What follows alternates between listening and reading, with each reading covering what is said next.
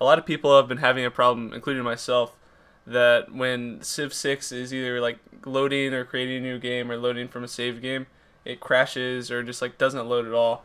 The main cause of this is basically because Windows Defender is trying to scan every single file as it's loading and then it just basically never loads. To fix this, you either have to disable Windows Defender, which is probably not a very good idea, or you can go into the Windows Defender settings and add exclusion. If you already know how to do that, then go right ahead. If not, I'm going to show you how to do that right now.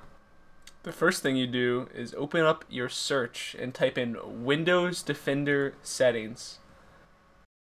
Once the window pops up, scroll down to the thing that says exclusions and click on add an exclusion.